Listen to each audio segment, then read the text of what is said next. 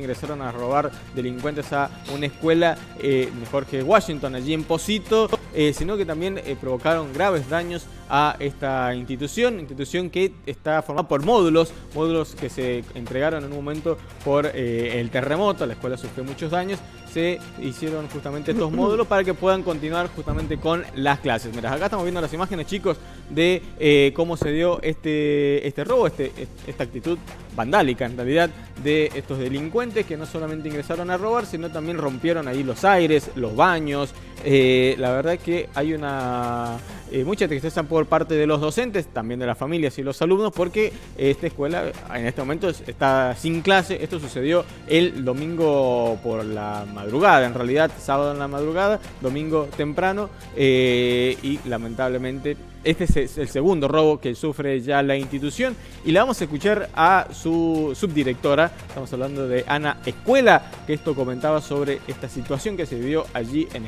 Escuela Jorge Washington. Ingresaron en el transcurso de la madrugada,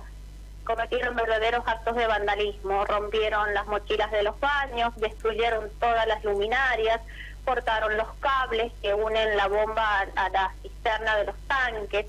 eh, ingresaron por una reja, eh, por una tela de alambre, la cortaron, dañaron los bebederos, o sea, han hecho verdaderos, movieron los, los eh, motores de los aires acondicionados, enojo y un ensañamiento con la institución que no tiene una explicación ni sentido común. Y hoy se ve suspendido el ciclo lectivo, el, eh, perdón, el dictado de las clases por toda esta situación y en el transcurso de anoche volvieron a ingresar otra vez. Se terminaron de llevar